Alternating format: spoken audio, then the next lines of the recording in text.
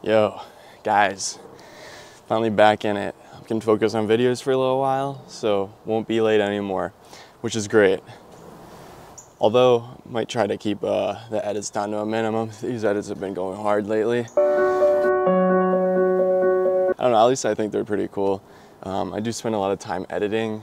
As you can see, I posted that one at 6 a.m. because I was late uh, editing for like eight hours on it, which might not seem like a lot, but when I'm doing all this other stuff, it adds up pretty quick. So today, just wanted to look at can tar uh, removers remove bug stains as well as bug stain removers. So I've seen some videos and things where people are like, or not videos, but I've seen like comments and stuff where people are like, oh, I just use tar remover uh, and it works as a bug stain remover and vice versa. I want to compare one, if we use the tar remover on the glass, will it work? Also wanted to test the bug stain remover in a separate area. And then lastly, I'm just gonna test foaming down the car with foam and then just rinsing it all out because it does recommend in the bug remover to rinse the car eh, or wash the car after.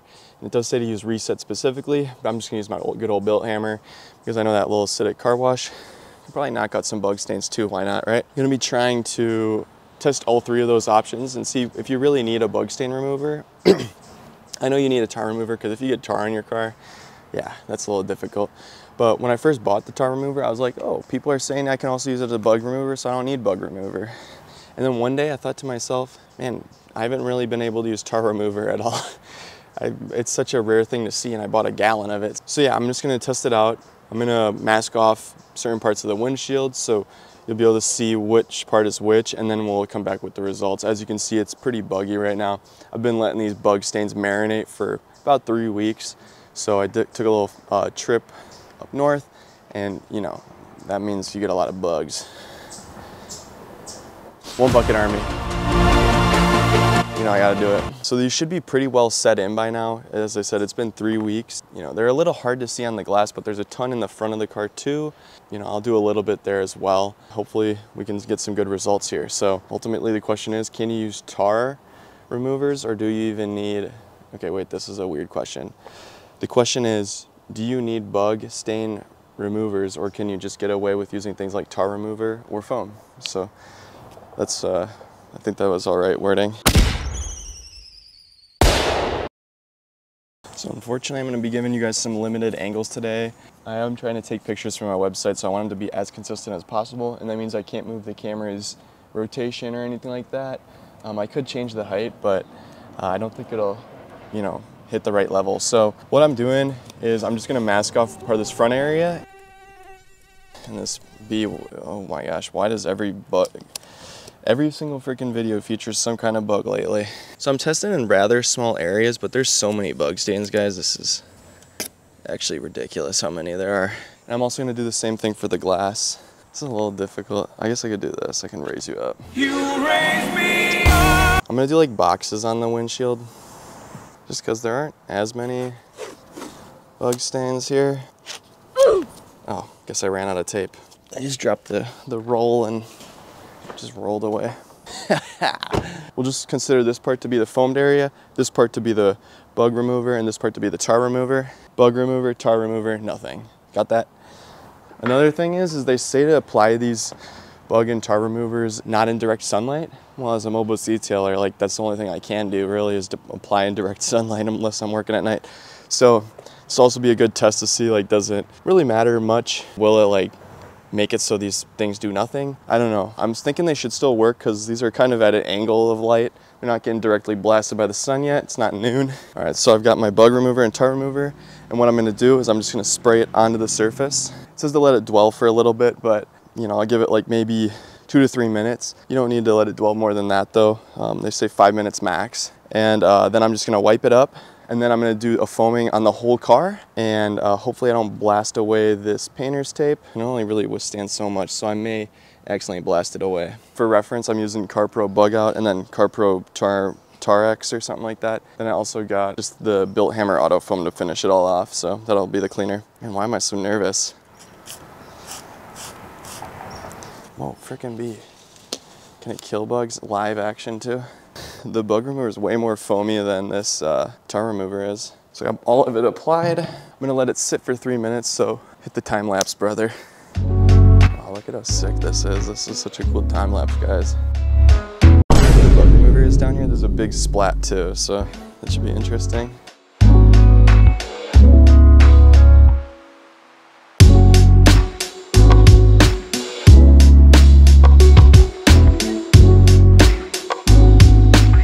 So imagine if you're doing a car normally, you could probably just spray on this bug remover real fast and then just foam it down pretty much right after. And then you'll have both the foam and the bug remover, or maybe you could throw the bug remover in your foam. I would, probably wouldn't do that.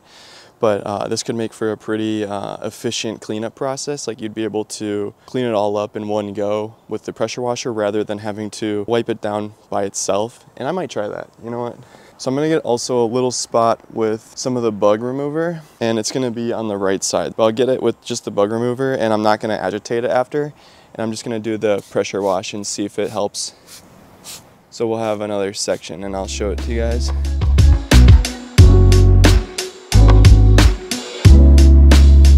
So now that I've showed you that I can't do time lapses without talking, it's been about three minutes, so I'm gonna wipe all this stuff up. I'll give you guys a close up too, so you don't have to be cranking your necks for this. I'm not trying to agitate too hard because that's what you don't want to do. You don't want to have to, you know, agitate it into oblivion or anything like that.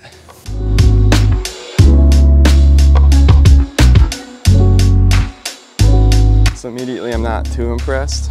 You know, maybe it's just because I didn't apply enough of it. The tire remover didn't really do anything. And then, you know, this is where it was with nothing. So you can see the three levels. The tar remover did do a little bit, but I'm sure it's just because I wiped it with a microfiber towel. As for the glass, this is where the bug remover was. Pretty good. And this is where the tar remover was. Bug remover, tar remover, and then no remover. Quite an array of stuff going on here. The bug and tar remover both worked well on the glass. And you know, I wiped the top area and there's still bug stains, so they both cleared it there. But on the front area, probably where you're gonna see more of those bug stains, like if you have a big truck or something, the bug remover did a little bit better, I will say, uh, as you can see. But the tar remover also, you know, did remove a little bit, and that's probably just because of the microfiber towel stuff. So now what I'm gonna do is I'm just gonna rinse off the whole car. It's gonna be a little tricky washing this whole car like this, but I don't have a ton of room.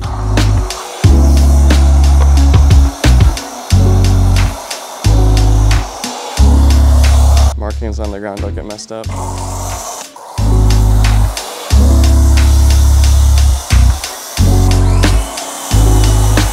Got the foam on there. I'm gonna do what I usually do and just let it sit for a little bit. Yeah, we can compare all the three different result sets. Gonna see what we're looking at. So I noticed where the bug stain remover was.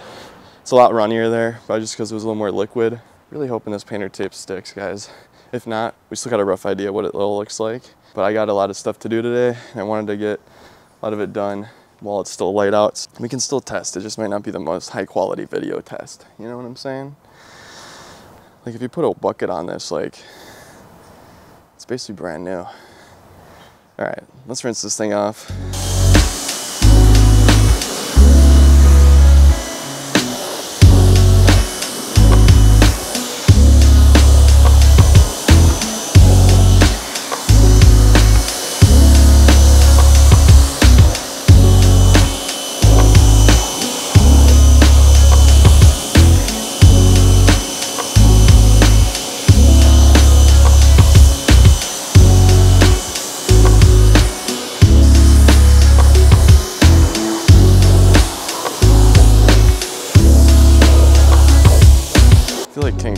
Up there.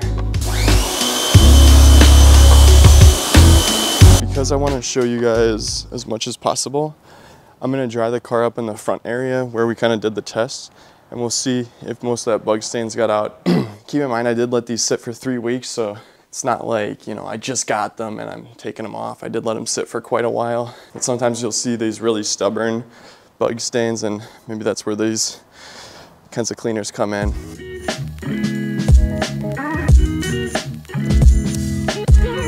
See, after the foam, this is where the bug stain remover was. Looks a little bit better, but there's still a little stain there. I don't know if you guys can see that. Tar remover is also looking better, but you know, not as good as the bug stain one. This is the side with uh, just foaming. Um, this is the other side with the bug stain remover, but no agitation. So I just foamed on top of it. Bug stain remover, tar remover, man, I'm getting sweaty. And that's not this one. Um, this one is the, uh, just the foam. It seems like the glass cleans up really easily regardless of what you're using to clean it. However, the paint's a little bit of a different story. It definitely looks the best where I did the bug remover. It's not perfect by any means, but uh, it definitely did cinch out a lot of, more of that bug stain. Um, whereas where the tar remover was, didn't really do anything. It kind of looks maybe a little tiny bit better than where I foamed, just because I probably agitated it. It's getting really hot out here, guys. I'm just gonna hand wash it, rinse it down, and then, oh shoot, I gotta fill up a bucket. I keep breaking my sentences. Yeah, I mean, that's pretty much it. And then we'll kind of see if the hand wash helps at all or not really. I'll bring you guys over to watch it.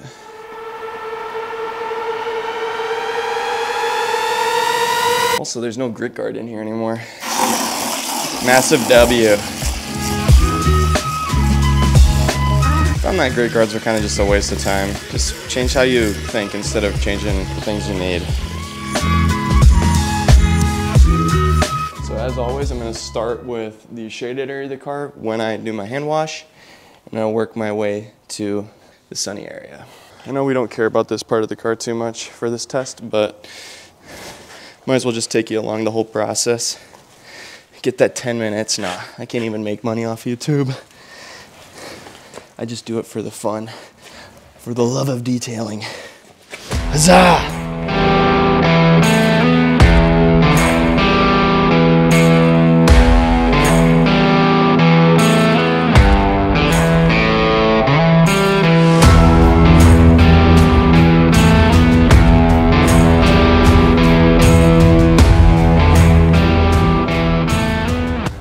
Bunch of water spotting on here. Actually, it's probably because I didn't dry the whole car like 10 seconds ago. Whoops. So I'm just doing a standard agitation, so I'm not like really blasting it in or anything.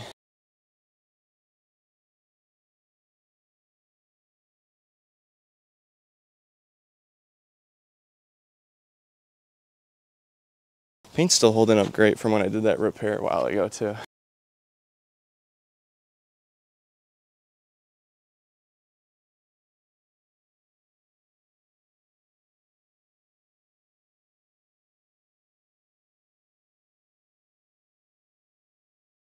So I'm gonna rinse it off.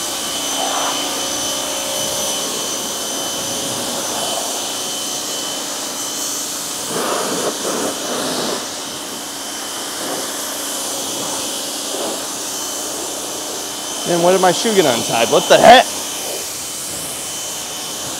Ah, dang it. Wow, I'm starting to sweat bad. Sheesh.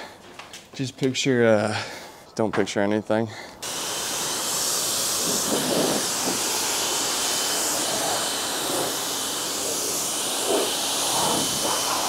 I need a drying towel for myself. So I'm just gonna start drying it off. We'll, you know, give it a few minutes, come back and see what's going on. Well, why are you using a drying towel, you filthy animal? It's just because it's a little easier to maneuver than a freaking 500 decibel leaf blower. Oh gosh, my shoelaces. They're all fudged up now. We just got that blueberry tree going on, if you guys remember the adventure series we went on. You know, after seeing this just two-step wash, I'm not so sure I really find bug remover too necessary, but uh, we'll see when we get to the front. I mean, you could always just prep a car by throwing some on the front, perhaps, and then just do your standard two bucket wash method. I mean, whoa. I'm a traitor. You do the one bucket wash method. The signature of the one bucket army.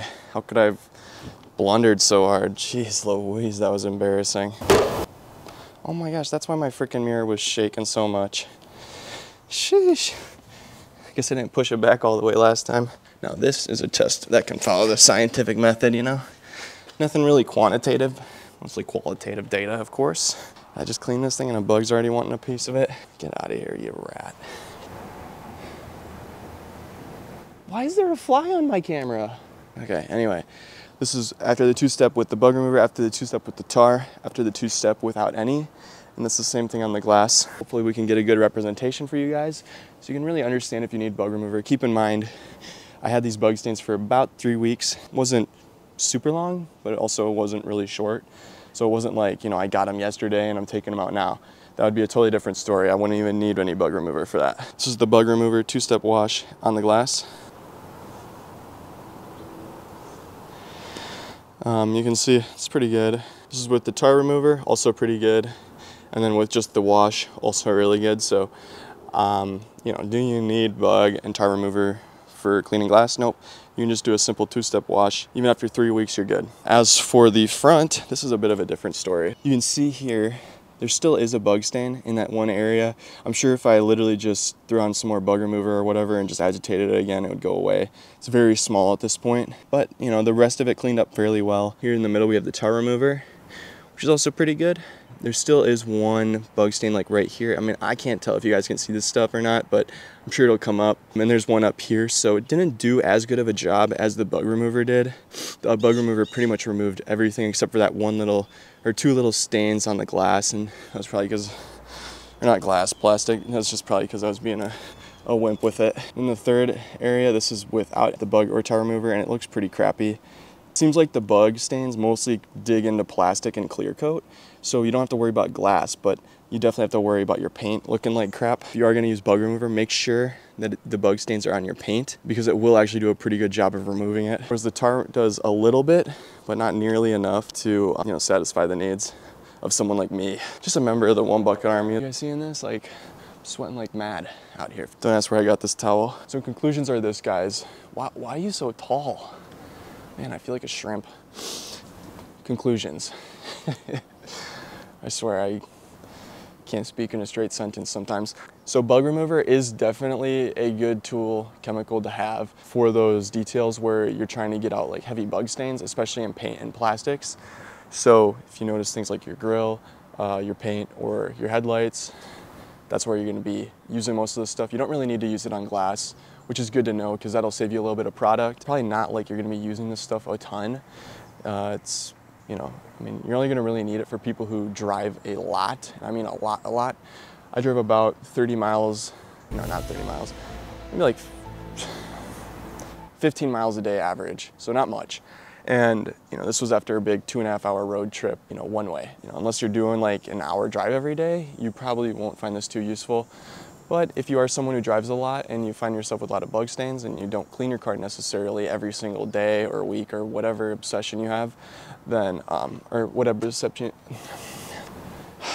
whatever obsession you don't have is what I meant to say, then you might be good with grabbing some of the stuff. It does do a good job. You might need to give it one or two love taps. I know that if I just threw some on right now, it would be 100% clean. I did put the painter tapes over some bug stained area, but the tape kind of just pulled some of it off. You know, sometimes you have a video idea and you're like, eh, I don't know. That's kind of like the Dawn dish soap one. Apparently a lot of people do that actually. I was looking at videos and there's a ton of videos about it, so I thought be, I was being kind of unique, but I guess I wasn't. You know, all my video ideas just come either from me watching shorts at some point or just from so with the tape going coming off there's not really a big difference so yeah honestly you can get away with, honestly, I don't even know what to say. One bucket army. Yo, I look so cool right now. Here I was squatting for like 10 minutes thinking I was looking all cool.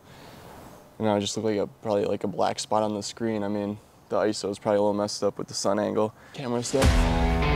Anyway, um, yeah, I gotta get to live streaming one of these days. And also I still have the Discord to do it. Don't think, don't think I forgot about that. I've just been insanely busy and it doesn't seem to be dying up much. So I always think of new stuff to, you know, either work on or do. So constantly add into the workflow, which is good. It's keeping me busy. But yeah, you guys will see that stuff eventually. Um, I know it's taken longer than expected. I don't know what expected was in the first place, but it's longer. And uh, yeah, so, ah, man, this is not easy to hold. So I'm gonna get the hell out of here. Hope you guys enjoyed this little bug stain demonstration. Pretty simple stuff, pretty cool though.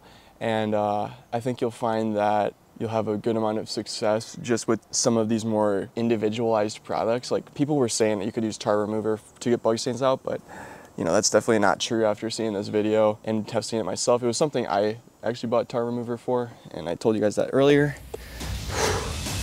yeah, one bucket army. I gotta stop doing that. It's not even funny at this point. It's just like, dude, get on with it. You know, I'm telling you, yes, you, to shut the hell up. Yeah, right. Don't discount necessarily specialized products. They might seem like a little bit of hoo-ha, but some of them are actually pretty good, and Bug Out was definitely one of them. I don't think it's like exceptional or like insanely amazing, but it does help. You would ideally want something that just takes care of it instantly, but you can't always get that. So we'll take this one. We'll call it a W. As for the one I was using, I was using CarPro Bug Out. It didn't do as well as the price tag. It's up to you whether you want to get that one or a different one. I'm sure there's way better ones out there. I've never seen anybody recommend CarPro Bug Out. I was already buying a few things from their site, and so it just made sense for me to do that. Plus, I had like a bunch of store credit um, from you know an incident. They shipped me some TarX, and it all like about half the bottle leaked. So asked for some of the the price back and just says store credit and they were okay with that. Decided to finally cash in on that. All right guys, one bucket army. I will see you guys later.